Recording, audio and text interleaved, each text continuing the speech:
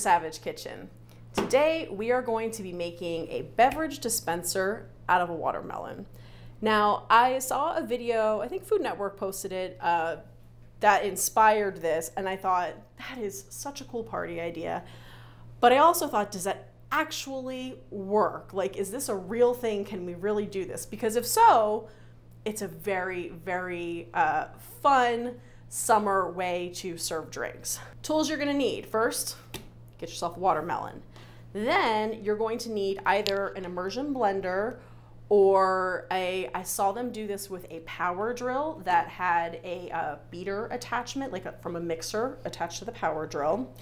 Um, you're gonna need a blender and this is only for the beverage that we're gonna make after this. We're gonna blend the watermelon up and filter out the juice. Then you're gonna need a spigot or a tap and an apple core. Now, I bought a kit online that actually is made specifically for this.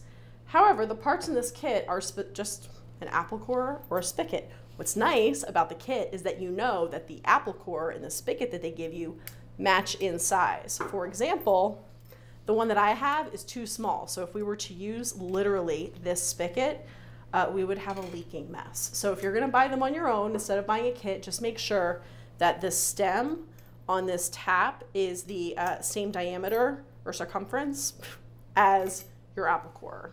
Next thing to consider is your selection of watermelon.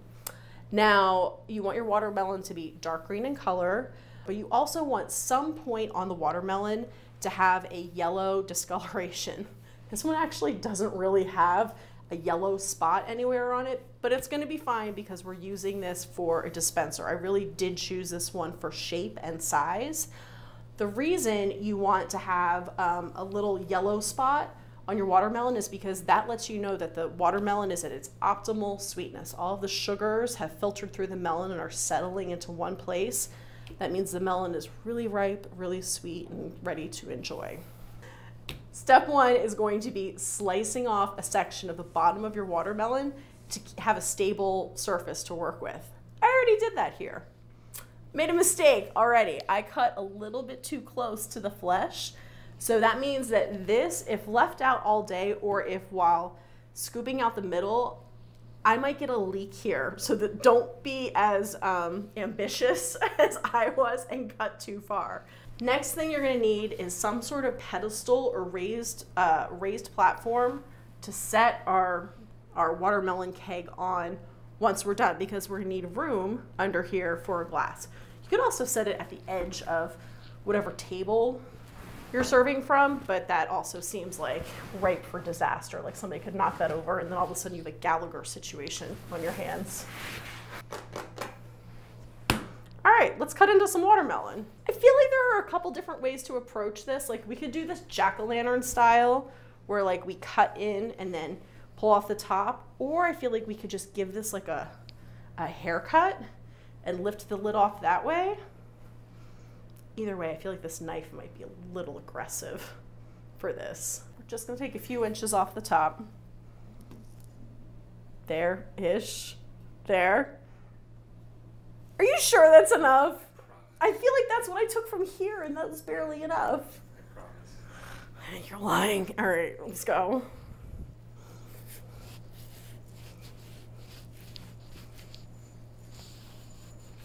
All right, you might have been right.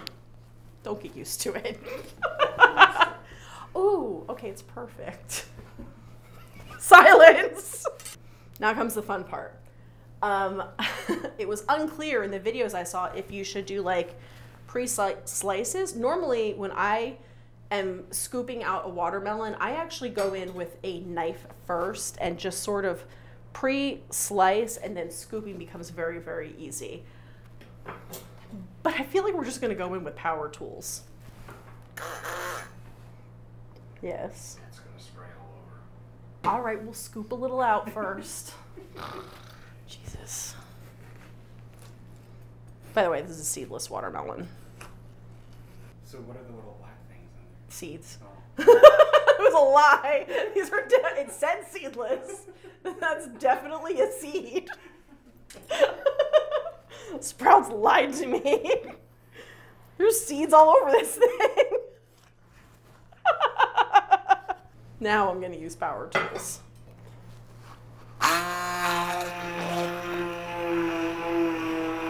That is deeply satisfying. Not terribly effective, though. I mean, all this is doing is kind of liquefying. You know, I'm not OCD, but the mess of this, a little. Okay.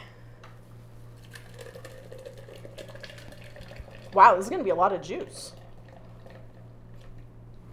We're not even, uh, I'd say we're about halfway volume wise. That is a lot.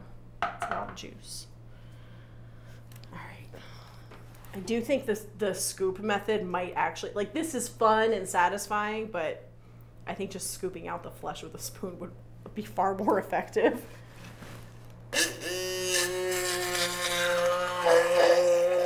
All right, I've had it. We're using a spoon. You know, this is the problem with like little one minute videos that are like, just do this, it's so easy. No, it's not that easy. It actually takes some effort.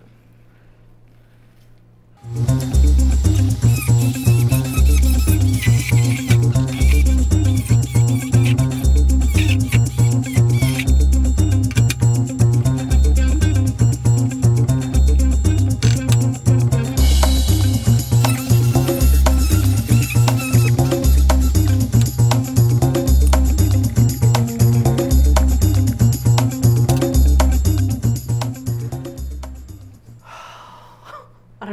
worth it. So the inside of our watermelon is now hollow. The trick is going to be making sure that the wall is thin enough for the tap to reach all the way through and low enough for gravity to work so that you have liquid flowing out of your watermelon and not just a bunch of your beverage stuck below the tap.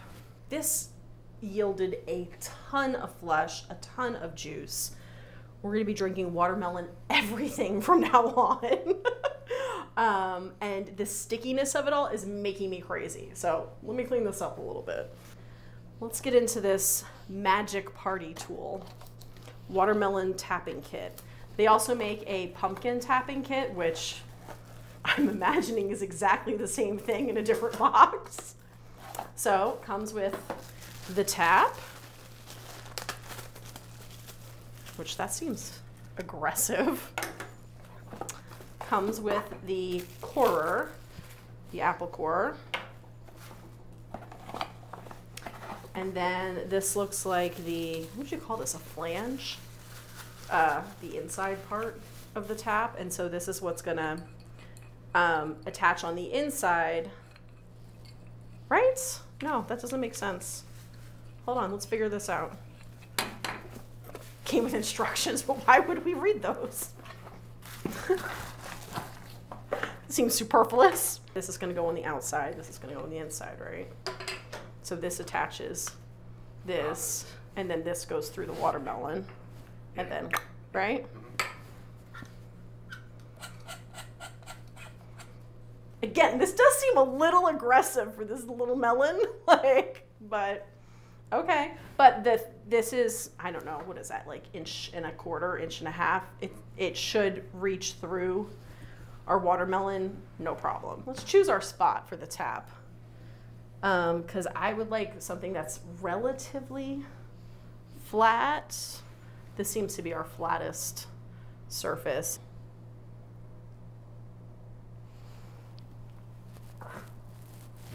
Twist? Allow the teeth to be the cutting surface.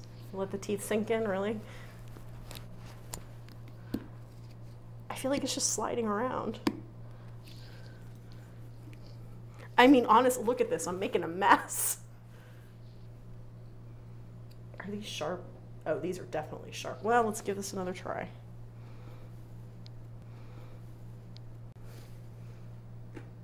I swear to God, I'm not this weak. Let's try, let's try our OXO apple core to see if that makes a difference.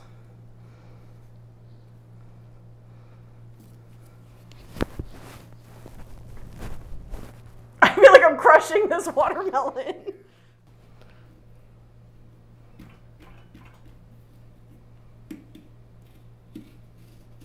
oh. Thank you.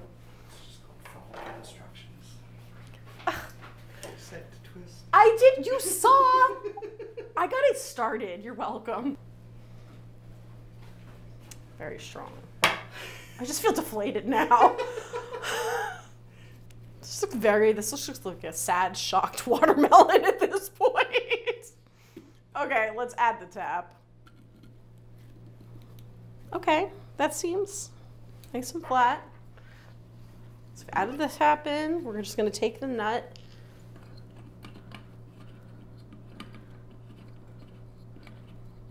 Seems pretty solid.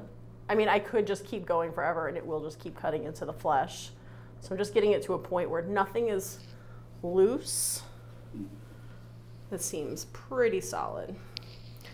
Okay, let's make a drink for this.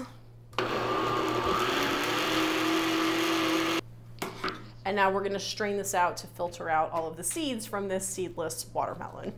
For today's purposes, since we're testing the functionality of this, I'm just gonna mix equal parts watermelon and soda water. However, if you are making a cocktail, mix this in a, a pitcher, a bowl, a glass, something else first so that you can taste and adjust as you go. You're basically making punch here, so you wanna make sure it tastes good before you put it in your dispenser. Okay.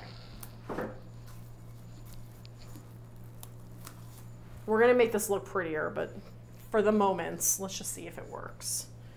So first step, adding our watermelon juice. It smells so good. Then we're just gonna mix in a little Pellegrino, soda water, tonic water if you like it. I personally hate tonic water. Um, so you'll never see me use that on the channel.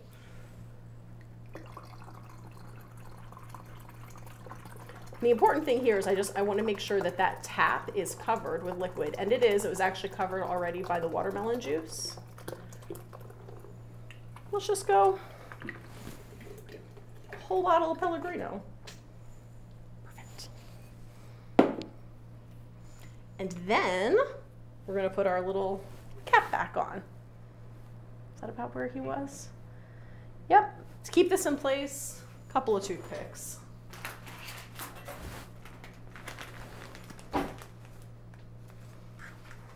If I were feeling really Debbie domestic, what I would do is um, I would actually use long toothpicks, take a piece of paper, tape it to each side of this, and put the name of the cocktail on top of this like a little banner.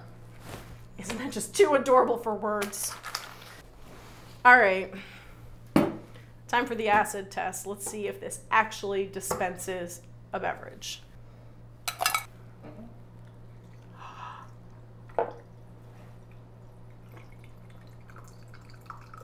That's really satisfying. oh! I don't know if it was worth it. Well, let's see. Let's taste. Oh my god. It doesn't look like it's leaking anywhere. Like this is this is dry. Oh my god. It actually works. Who knew? Okay. Well, watermelon dispenser, watermelon keg, it is a lot of effort. I do feel like the reward is high. It's super fun. Like I suggested, you could decorate this, you could have a lot of fun with it. You can get real fancy and like carve your watermelon rind, but it's a pain in the ass and it's sticky and it's messy. So be warned. Uh, if you have any questions, please let me know in the comments uh, and let me know if you try this. Cheers, friends.